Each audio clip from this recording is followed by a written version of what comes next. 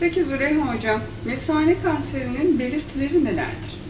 Mesane kanserinin en sık belirtisi, e, en önemli belirtisi e, idrar yaparken e, koyu renkli, kanamalı idrar yapma, idrarın kesik kesik yapılması, idrarı tam idrarını boşaltamama, karın ağrıları gibi şikayetler olmaktadır.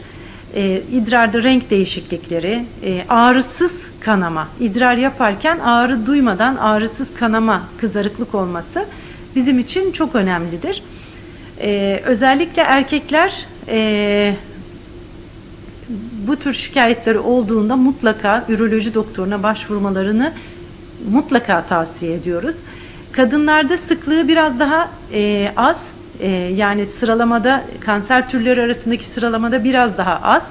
Bununla ilgili açıklamayı da birazdan yapacağım, sebepleriyle ilgili açıklamayı da yapacağım ama e, eğer idrarla ilgili e, kanamalı idrar varsa, ağrısı varsa, e, idrar yaparken yanmaları oluyorsa, kesik kesik idrar e, oluyorsa e, mutlaka bir üroloji doktoruna başvurmak gerekir.